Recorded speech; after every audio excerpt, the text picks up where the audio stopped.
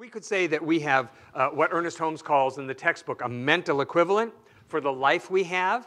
You know, it's what we deeply believe we can have, and it's what we deeply believe we deserve, and it's what we deeply believe is available to us.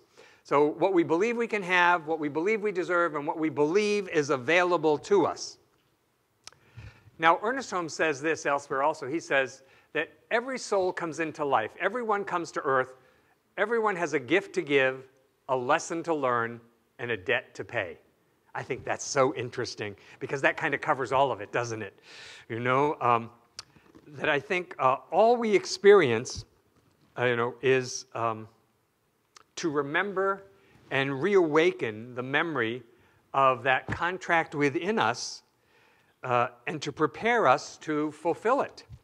Right? So it seems to me that uh, divine ideas, hunches, inklings, ahas, revelations, whatever we might call them, come and they're unfamiliar to us. And what happens is we push them away.